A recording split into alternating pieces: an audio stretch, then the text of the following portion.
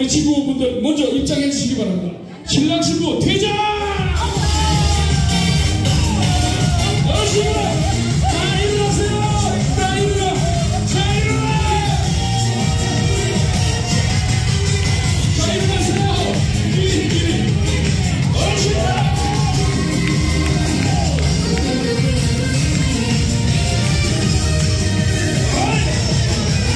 자,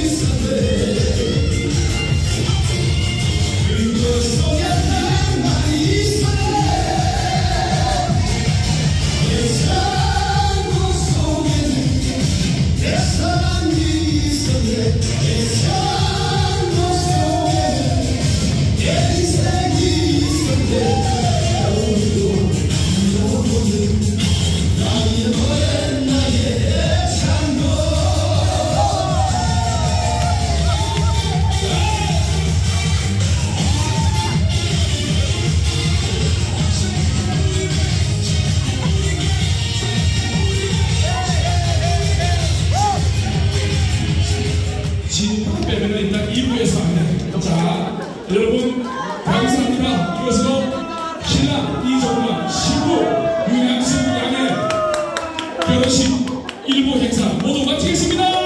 저는 나팔 박이었습니다. 감사합니다. 잠시 후에 사진 촬영이 있습니다. 가지 마시고 사진 촬영해 주시고 가시면 되겠습니다.